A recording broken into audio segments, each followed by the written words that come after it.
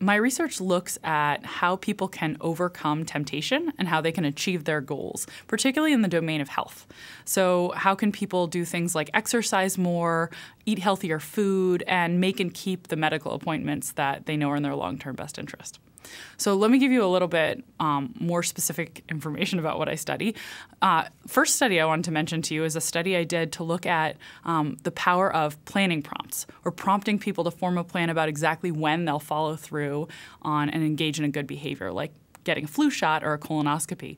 And we found that when people are prompted to just write down the date and time when they'll get a flu shot, we see dramatically higher rates of follow through. This also works with colonoscopies.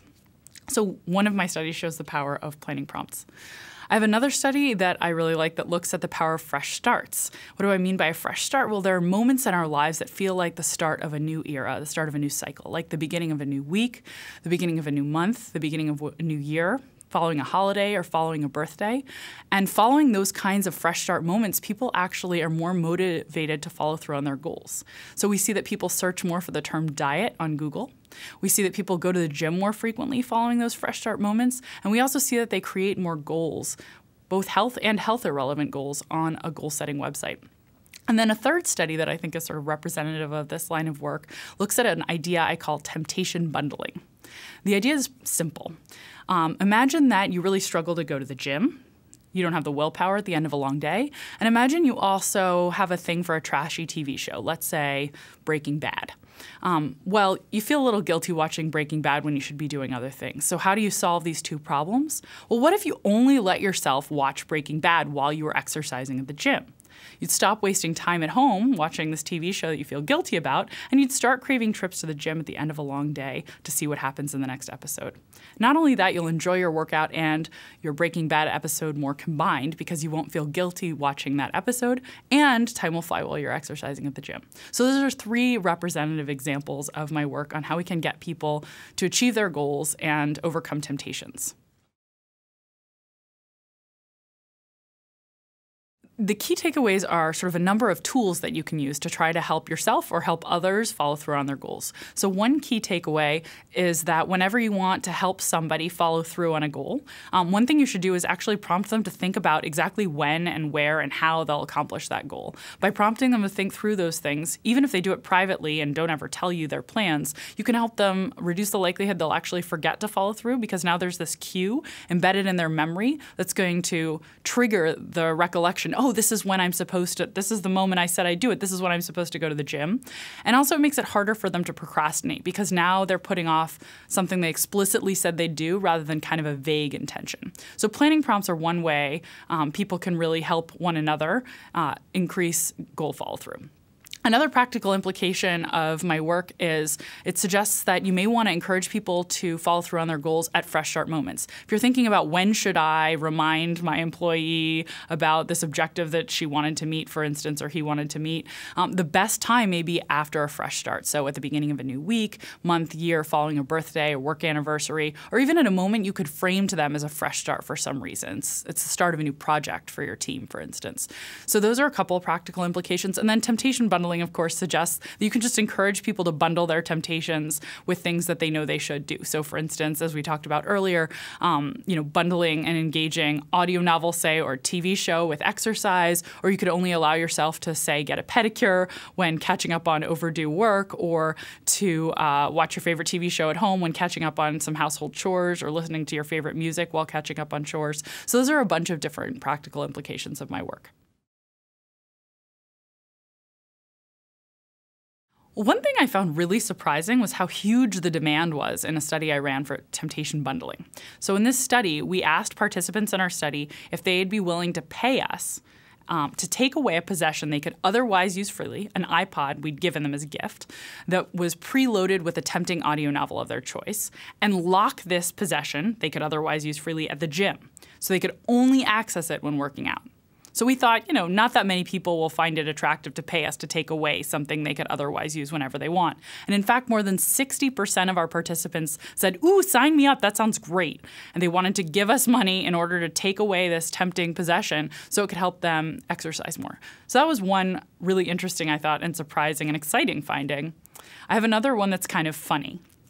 My other surprising finding is actually in the research I did on fresh starts also in a study looking at gym attendance. And what we found in that study, one of many things we found in that study, is that people are more likely to go to the gym in the months following a birthday than in the months preceding it, so following this Fresh Start event. Now, interestingly, that's true for every birthday that was in our data set except one notable birthday, and that's the 21st birthday.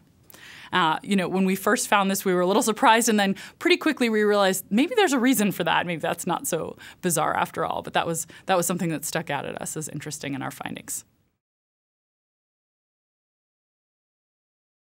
Well, one thing that organizations could do is simply use planning prompts whenever they want to encourage follow through and a good behavior. So they could prompt people to think through the where, when, and how of engaging that behavior, and that's likely to increase take up.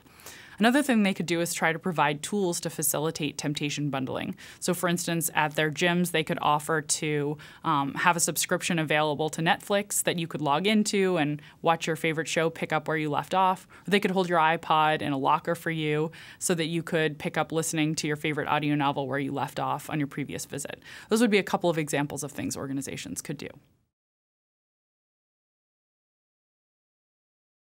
Well, one story that's been in the news quite frequently is America's obesity epidemic. And a lot of my research provides tools that people can use to try to overcome the temptations that often lead us to gain weight, like failing to exercise frequently enough or eating healthy foods.